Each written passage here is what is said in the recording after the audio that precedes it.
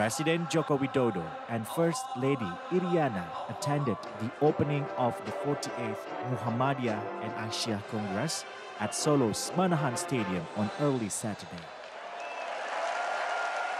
In his remarks, the president expressed thanks to the organizations for their contributions to the government's COVID 19 response.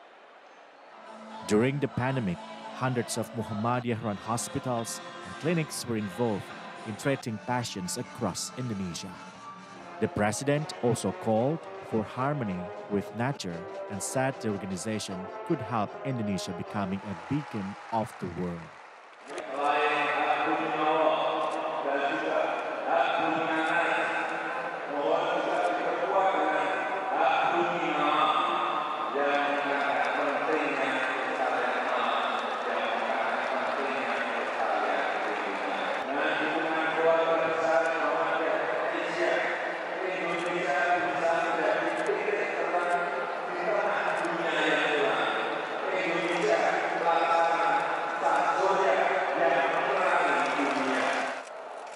House Speaker Puan Maharani, Cabinet Secretary Pramono Anung, Human Development and Cultures Affairs Coordinating Minister Muhadjir Effendy, Muhammadiyah Chair Haedar Nashir, and Central Java Governor Ganjar Pranowo then joined the president in the opening congress.